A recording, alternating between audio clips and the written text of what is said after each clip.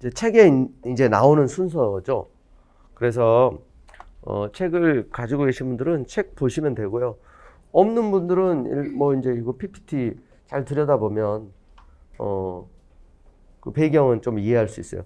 대통령 후보 을은 어, 이분 이제 여러분 잘 아시는 대통령이죠. 그래서 우리 그 친구가 사실은 이 만화가 친구가 있어요. 친구가 이제 나름대로 근데 이제 콘티는 제가 다 짜준 거야. 그래서 이제 어, 굉장히 실제 이제 그 대통령 비슷하게 이제 그린다고 그렸는데 어 그래서 이제 뭐 이미지 그래서 이제 나름대로 그 당시 그러니까 대, 대통령 선거 공약에서 2002년 대통령 선거예요. 벌써 굉장히 오래된 일이죠. 2002 하면 이제 월드컵이 있던 해인데 그때 이게 굉장히 획기적인 공약이었어요. 어, 뭐 여러분 한국사 공부하시는 분들은 단재 신채호 묘청의 난 해가지고 예전에 서경 천도론 당군일의 뭐, 뭐 최대 사건 뭐 해가지고 이런 유명한 그 스토리 여러분이 더 잘 아시죠? 그러니까 이 행정 수도의 문제가 역사적으로도 많은 시도가 있었어요. 근데 이게 결코 쉬운 게 아니야, 사실은. 그런데 이게 이제 그 당시 공약이었는데 굉장히 그러니까 어마무시한 공약이었어, 사실은. 그런데 이게 그 당시 공약에서 나름대로 히트를 친 거예요. 충청권에 그 캐스팅 보트 하는 역할을 하는 지역인데 충청권에 이제 지지를 받고 여러분 그, 그 해의 대통령 선거가 굉장히 극적이었던 거 여러분 아실 거예요.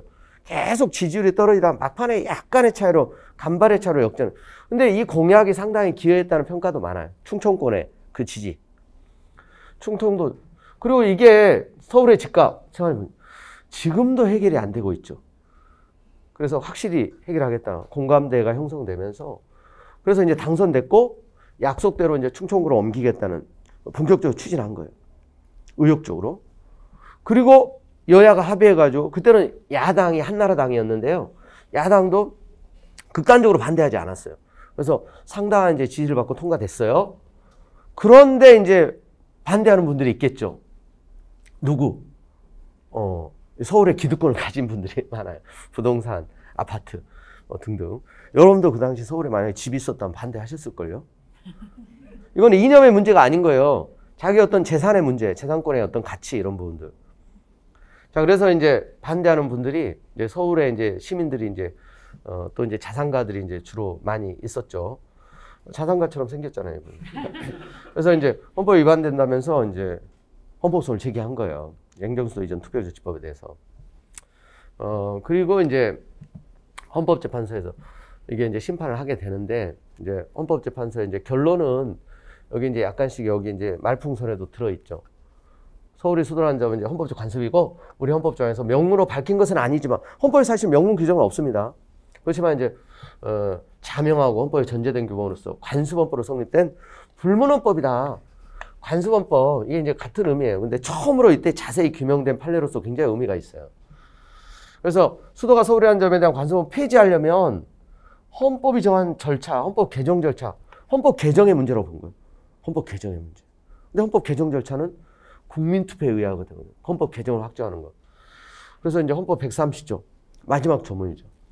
이 헌법 개정 조문 절차에 대한 조문은 사실은 너무너무 시험에 그 자체가 많이 출제돼요. 우리 헌법 조문 시간에 또 볼 텐데 헌법 개정 할 때 거쳐야 되는 이 국민투표권 있죠. 국민투표권. 국민투표로 이제 개정을 하게 되어 있거든요. 근데 국민투표에 의하지 않았어. 여야가 일반 법률로 다룬 거예요. 국민투표권 침해다. 그래서 이제 위헌 결정이 내려진 사건이에요. 아시겠죠? 자, 그래서 결론은 헌법 130조 2항의 국민투표권 침해다. 국민투표권. 이게 결론이에요. 헌법 개정에 대한 국민투표권 침해. 아시겠죠? 그래서 사실은 이제 그 이후에 후속 얘기를 약간 보충해 드리면 결국 재판관들 일곱 분이 위헌 의견을 내셨어요. 7대 2로 위헌 의견. 근데 여야가 압도적인 지로 통과된 법이라도 헌법재판소가 위헌 결정을 한 이상 효력이 상실됩니다. 이게 이제 법치국가 권력분립의 원리가 작동되는 민주주의 법치국가의 모습이에요. 생각이 다르고 뜻이 다르고 그리고 대통령의 공약이고 여야가 합의했어도 독립된 절차에 따라 헌법으로부터 부여받은 헌법재판권을 행사한 헌법재판소 재판관들의 여섯 명 이상이 위원 의견을 내면 위원인데 일곱 명이 이제 위원이라고 했기 때문에 그럼 효력이 상실되는 거예요. 정말 당군 일의 최대 사건이 될 뻔했어요, 진짜. 그럼 소경 천도랑하고 비교가 안 될 정도로 어마무시한 여러분 이제 그 가정을 해보세요. 그것도 이제 단체 신채호 선생이 그래서 이제 가정을 해서 그렇게 판단을 한 거잖아요. 나중에 이것도 마찬가지인 거예요, 사실. 만약 그때 갔더라면 지금 여러분 이미 후속 법률로 세종시법이 만들어진 거예요. 국민들에게 약속은 했기 때문에. 그래서 이제 대통령, 국회, 대법원, 중요한 헌법재판소, 국가기관은 싹 빼고 원래는 다 이전하는 거예요. 그래서 국무총리하고 49개 기관 중심으로. 그런데도 지금 몇십만의 지금 자족도시가 이미 만들어져 있잖아요. 근데 청와대도 가고 국회도 가고 대법원도 가고 헌재도 가고 주기관 다 이전이 됐다고 여러분 상상해 보세요. 지금 서울은 인구 반토막 나고 오히려 거기가 진짜 몇백만의 이미 도시가 형성이 됐었을 거예요. 왜냐하면 이제 이게 위헌 결정이 내려지고 다시 이제 후속 법률을 만들고 하느라고 또 시간이 많이 소요됐거든요. 그럼에도 불구하고 지금 세종시 인근 보세요. 허벌파인더 그쪽에 계속 커질 일만 있습니다. 그쪽은. 그러니까 상당히 이제 이게 역사적인 사건이 될 뻔했는데 그래서 아쉬워하는 분도 많이 있었다 이거죠. 부동산 문제가 해결될 뻔했던 거죠 사실은. 물론 그쪽에 또 폭동했겠지만. 어. 자 그리고 여러분 이제 다른 그 요지 부분들은 음, 또 기타 관련된 부분들은 여러분 이제 참고를 하시기 바랍니다. 교재도 참고 나중에 본 강의에서 열심히 지금 이제 일단 우리 해야 될 만화 많으니까 넘어갑니다. 만화 중심으로. 자, 그리고 거기 이제 북의 혈통주의 사건이 나오죠. 북의 혈통주의. 음. 자, 이것도 여러분 역사적으로 굉장히 어, 유명한 판례예요. 이 갑이라는 사람이 1957년에 중국 흑룡강성 목단강시에서 태어나서 그곳에서 이제 성장하고 자랐어요. 근데 아버지가 누구냐면 중국 국적의 아버지예요. 중국인이죠. 어머니는 북한 주민. 자, 여러분 북한 주민의 법적지, 북한 주민의 국적이 어느 나라 국적입니까? 북한 주민도 대한민국 국민이에요. 우리 법상으로는. 북한도 대한민국의 영토예요. 우리 이제 헌법 3조에 보면 대한민국의 영토는 한반도와 그 부속 도서를 한다. 그래서 이제 북한 지역까지 포함하는. 그래서 북한 주민, 탈북자들 여러분 지금 3만이 넘는 탈북자가 지금 남한에 들어와 살고 있는 거 아시죠? 네. 잘 아시다시피 탈북자 출신 국회의원도 계시고. 음. 그래서 이제 대한민국 국민입니다. 대한민국 국민이에요. 그러니까 외국인 아버지와 한국인 어머니 사이에서 태어났어. 어디서 태어났어요? 중국에서. 근데 예전에 우리 국적법은 뭐냐면은 북의 혈통주였어. 북의 혈통주. 아버지의 혈통을 봤어요. 어머니는 고려 대상이 아니었어.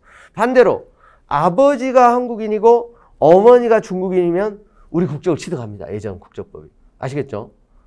그래서 어찌됐건 어 이렇게 이제 뭐 미립국 하다가 발각이 됐는데 근데 만약에 북한 전형적인 북한 주민이었으면 이거 쫓겨나지 않습니다. 대한민국 국민이 대한민국에 들어온 거예요. 사실 이제 미립국이란 표현도 안 맞아요. 만약에 북한 탈북자면 탈북자들이 어떠면 다 미립국이지 그런 식으로 따지면. 근데 이제 입국의 자유에 의해서. 근데 이 사람은 국적이 그 당시만 하더라도 외국인인 거예요, 외국인. 아버지가 중국인이고 어머니가 이제 한국인이더라도 아시겠죠? 그래서 다툰 거예요. 강제 퇴거 명령 이거 무효다. 그래서 이제 불안 소송을 제기했고 그래서 이제 헌재가 심판하게 된 건데 어, 헌법재판소에서 이 주장을 받아들이게 된 거죠. 아시겠죠? 이게 차별적이다. 그래서 이제 그런데 이제 그 중간에 어떤 일이 있었냐면 사실 이제 이 사건 계속 중에 어, 재청 대상 구법 조항이 97년 어, 12월 13일 이제 법률이 이제 개정된 거예요.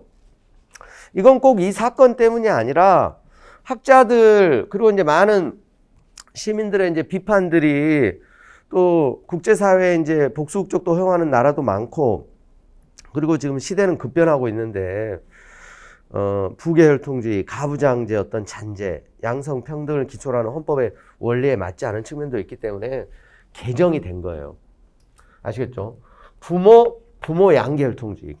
부모 양계라는 건 부, 모, 둘 중에 한 사람만 대한민국 국민이면 이제 우리 국적을 취득할 수 있게 하는 거예요. 예전에 부계혈통주의는 아버지의 혈통만 받던 거고. 아시겠죠? 그래서 이제 개정이 됐고, 이 사건 계속 중에.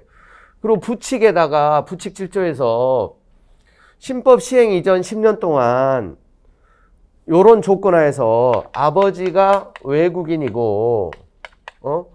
어머니가 이제 한국인인 그런 사이에서 이제 자녀가 이제 출생을 하면 과거에는 외국인이었는데 그리고 이제 이렇게 국적법이 이제 전면 개정되고 나서 딱 개정법 시행일로부터만 적용하면 어떤 사람은 이제 뭐 한두 달 차이로 외국인 대우를 받고 어떤 경우는 이제 이 개정법 시행 이후에 태어나면 이런 조건에서 태어나도 이제 한국인이죠. 좀 불합리한 점이 있다 그래가지고 개정법 시행일로부터 소급해서 10년 동안 10년 동안 이런 조건에서 태어난 애들도 신고만 하면 국적을 취득할 수 있도록 부칙 경과 규정을 둔 거예요. 아시겠죠? 그러니까 이제 혜택을 주겠다는 거예요. 근데 문제는 이분처럼 50년대 출생하고 이런 사람들은 혜택의 범위에 들어갈 수 없죠. 소급을 해도 어? 꼬맹이들이나 혜택을 받는 거지. 아시겠죠? 그래서 부칙 7조도 심판을 하게 된 거예요, 헌재가. 그게 또또 다른 차별이라면 이게 또 이제 평등원칙 위배될 수가 있다. 그래서 부칙 7조에 대해서 헌재가 또 불합치 결정한 거예요. 아시겠죠? 어, 일단은 국법 조항은 이제 평등 원칙에 이제 위배된다고 본 거고 자녀 입장에서 볼 때도 한국인 모의 자녀를 한국인 부의 자녀에 비교해서 현저하게 차별 취급을 하고 있으므로 평등 원칙 위배된다. 아시겠죠? 일단 국법 조항 문제가 있다는 거 인정. 그리고 이 부칙, 부칙. 부칙 조문도 신법 시행 당시 연령이 10세가 되는지 여부는 헌법상 적정한 기준이 아닌 또 다른 차별 취급이라는 거예요. 아시겠죠? 그래서 부칙 조항도 평등 원칙에 위배된다. 해서 부칙도 불합치 결정한 거예요.